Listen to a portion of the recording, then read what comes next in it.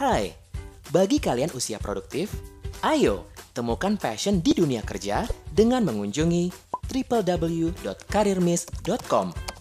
Caranya, isi data diri lengkap sesuai KTP dan cantumkan nomor telepon dan email. Klik apply.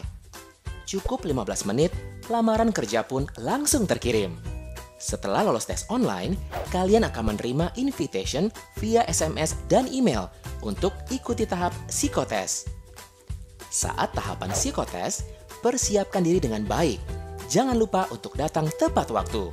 Jika lolos psikotes, kalian akan mendapatkan undangan interview yang dikirimkan via SMS dan email. Dan bersiaplah jalani tahapan selanjutnya untuk tahapan interview. Ketika hasil interview sesuai posisi yang dilamar, selamat bergabung bersama kami.